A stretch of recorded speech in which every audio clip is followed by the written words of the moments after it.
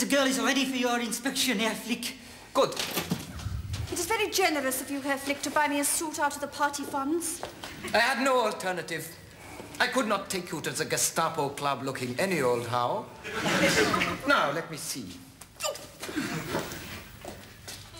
Hmm. The shoulders are good, but the lapels are not good.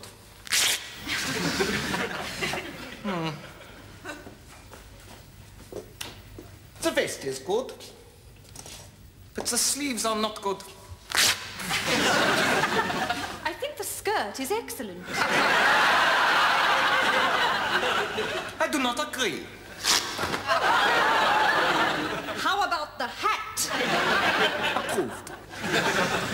Herr Taylor, you will do better, or something nasty will happen to you. Yes, Herr Flick.